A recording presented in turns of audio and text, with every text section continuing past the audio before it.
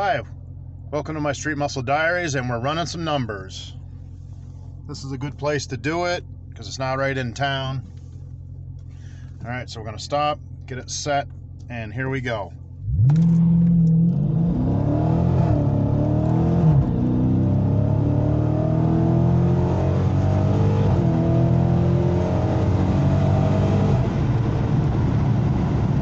All right. So that was zero to 60. I didn't stop because I'm on an interstate, you know. Nice. Okay, so my first one I kind of screwed up. I did break traction a little bit because I'm in track mode, which is the least amount of uh, traction stability control with torque management to your rear axle. So this one was very good. Very, very good. So right on the 3.9 second marker. So the weight reduction works, folks. I'm at 3.9. That was only my second try. So very, very happy with the results um, so far. That was my first test. So it's not 4.3, 4.4 now. In the three second range on a zero to 60 with a scat pack. So there you go. Weight reduction, BF Goodrich Comp 2 tires.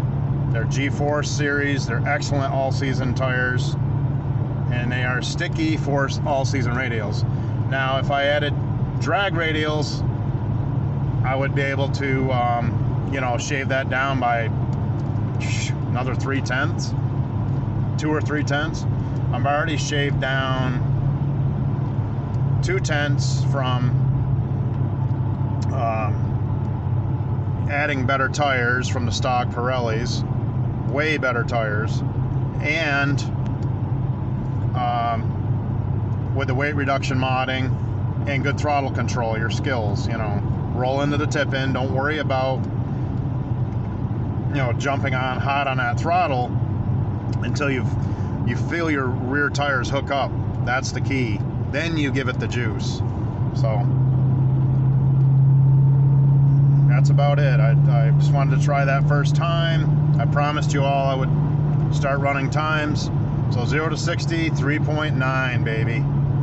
I'm going to try, obviously, for 3.7, 3.8. Because then you're getting into, um, you know, uh, Scat Pack 1320 times then with drag radials and a drag pack.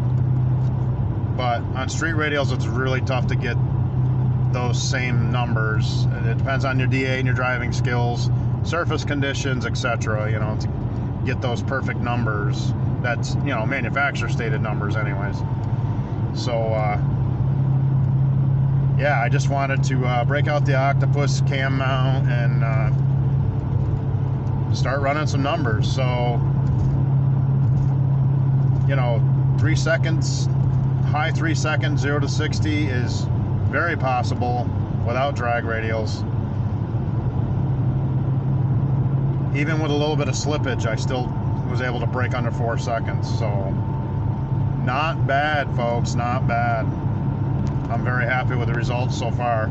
And I know part of it is my skills, but part of it is the weight reduction modding. Absolutely, 100%. I, I was right around 4.1 before 4.2 and yeah absolutely man.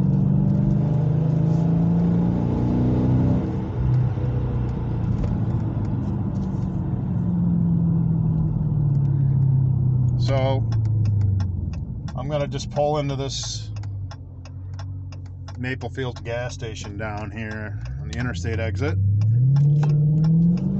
and I'll close you folks out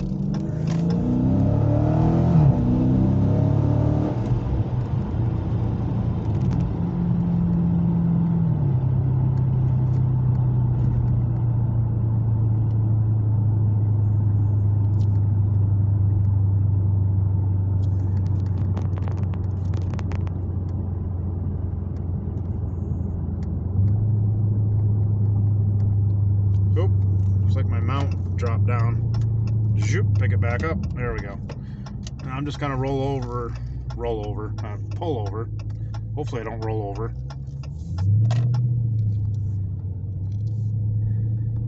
And I'll close you all out and I'm gonna roll down the windows and go ambient. So yeah, wait for this cement mixer to do his thing.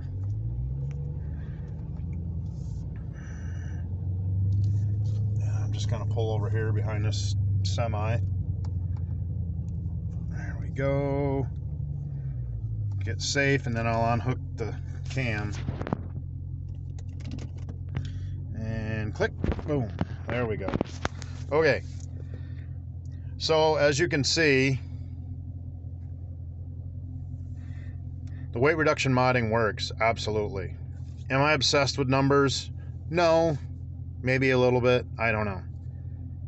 I mean, I, I, I don't really, I'm not really being, everybody has com- competition in them and is competitive. Is my vehicle faster than the other guys? And, you know, what are the, what are his numbers? Is he a good driver? Can he beat me? Of course, everybody thinks of those things.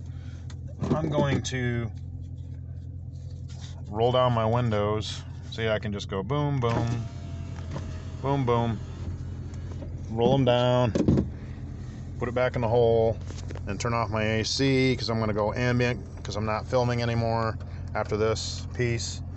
Um, appreciate y'all joining me for my muscle car journey and adventure. To me, it's an adventure. I love these cars. I don't really care what technology comes out that's faster. I love muscle cars. Even the old ones are a lot of fun. I'd even do the same thing in the old ones. You know, I love experimenting. That's what I like doing to a certain point. How far do you want to go? You know, before you blow it out of inspection legalness, you know, you got to be careful. But it is the cheapest route to um, increasing um, vehicle performance without having to spend tens of thousands of dollars on bolt ons and tuning, which, yes, that will get you more gains, but you're going to spend a lot of money. I'm really not into getting into a like a personal loan just to get, you know, I mean, just screw that. I'm going to leave this car naturally aspirated, stock tune. I'll do my weight reduction modding and have some fun. And when the time comes, I'll see what's available when I'm ready. You know, I'm still going to keep this scat pack in my yard. This thing will rot in my yard. I've said it before. I love this car. Like I said, I don't care what's faster. I know I can beat a lot of cars. I already have. So that's all that matters to me is is what works for you might not work for me and vice versa. You know, it just depends on what you're looking for. You know, some guys like those tight track cars, all-wheel drive. There's nothing wrong with that. The M4 is a sick BMW, man, and that thing handles crazy. I mean, and Camaros, ZL1s, those are excellent cars too. Um, you know, stuff like that. I think I'm gonna let my Hemi cool because I just did some uh, runs with it so gotta let the Hemi cool I'm probably gonna pop my hood and uh, just let some air get in there. Oh also I took out the front cowl that goes across the front of the the 392 there out front. I took that plastic off. I did not take off the valve cover caps because they give the engine that look that it, I think it gives it the proper look. I see guys take those off, and that with the insulator underneath, and then the strut tower caps. Um, you, you subtract you about a pound and a half or something. But honestly, I don't want to strip the engine bay naked like that. I think it looks really good with those components in there, even though they're just visual, not really functional. Um, and it gives the the Hemi the proper look. You know, you take those off and then you see underneath. I don't know. It just it looks way better with the covers on there. So I just decided to not take those off. So that's about it. Um, thanks for joining me again. Thanks for visiting my YouTube channel. Thanks for visiting my Facebook page, Bass Lightning. If you are all on Facebook, you can check that out. It's basically the same content on both platforms. I just share it over. Just some people prefer YouTube, you know, whatever. It's basically the same content on both, you know, my YouTube channel and my social media page for Facebook. So it's not really much, you know, that's different, but it just depends on what you prefer. You know, I just use both platforms to reach out.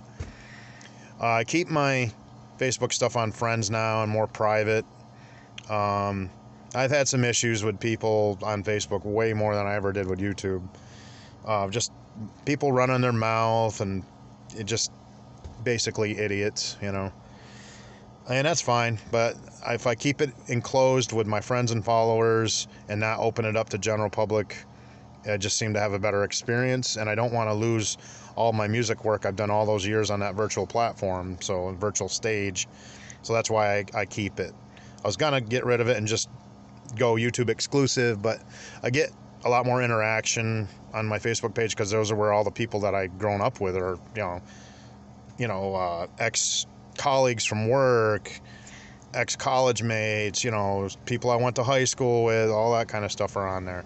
We're not on YouTube. I don't know. I don't think I know anybody who's subscribed to my YouTube channel, and that's fine because that's more of my public domain.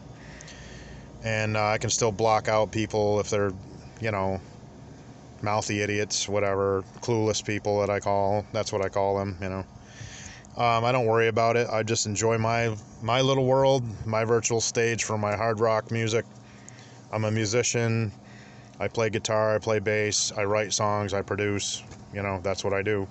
Um, and I drive muscle cars. So thank you for joining me, and I'm going to close you out and let the Hemi cool. We'll catch you all on the next one.